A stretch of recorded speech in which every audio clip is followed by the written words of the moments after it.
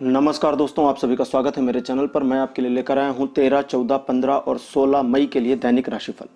आइए शुरू करते हैं और देखते हैं आपका आने वाला दिन कैसा रहेगा। ग्यारहवीं राशि लेते हैं एक्वेरिस यानी कुंभ राशि। 13 मई के दिन आप एक सशक्त व्यक्ति की तरह से रहेंगे जब आप लोगों को अपने अनुसार घुमाना भी चाहेंगे और उन्हें अपने अनुसार चलाना भी चाहेंगे। आपका प्रभाव लोगों पर जल्दी पड़ेगा। लोग आपकी बातों में जल्दी आ जाएँगे, जिसकी वजह से लोग आपसे प्रभावित होकर आपका काम भी कर देंगे। इसलिए जब आप लोगों को इस दिन प्रभावित कर रहे हो तो ध्यान रखें कि आपका उद्देश्य क्या है। आपका उद्देश्य अच्छा होना चाहिए।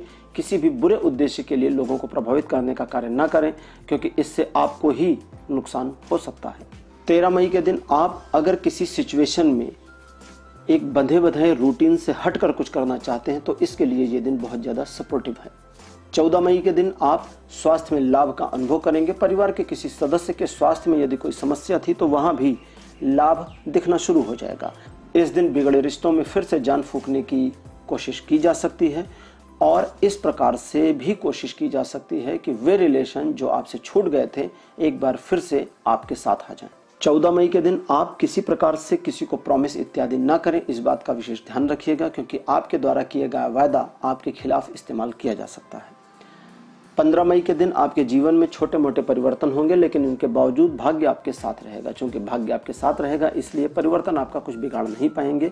हालाँकि बहुत सारे परिवर्तन आपके फ़ायदे के लिए हैं, लेकिन शुरुआत में वे आपको पसंद नहीं आएँगे।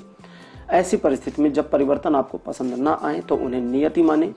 और चीज़ों को उस प्रकार से ढलने दें जिस प्रकार से वे ढलना चाह रही हैं। यानी किसी रिलेशनशिप में अगर कोई परिवर्तन आ रहा है तो उस परिवर्तन को आने दें। वो बाद में जब ऑटो सेट होगा तो आपको पता चल जाएगा कि रिक्वायरमेंट असल में इसी की थी। आप जो सोच रहे थे, आपका सोचना सही नहीं था।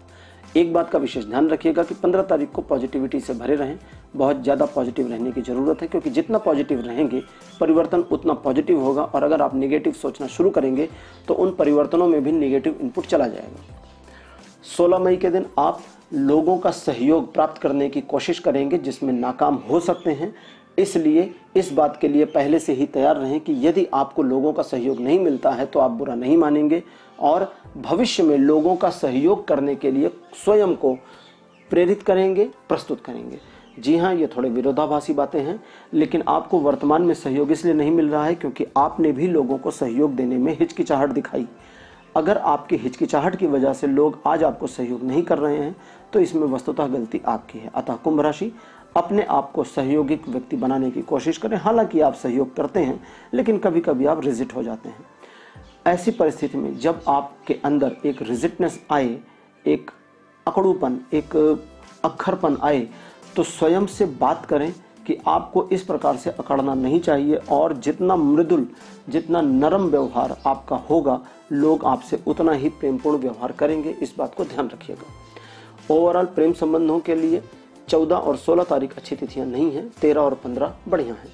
तो दोस्तों ये था दैनिक राशिफल 13, 14, 15 और 16 मई के लिए मेरा कार्यक्रम। आपको कैसा लगा आप अपने सुझाव दे सकते हैं। वीडियो को लाइक और शेयर करिए। चैनल को सब्सक्राइब करना मत भूलिएगा। धन्यवाद नमस्कार।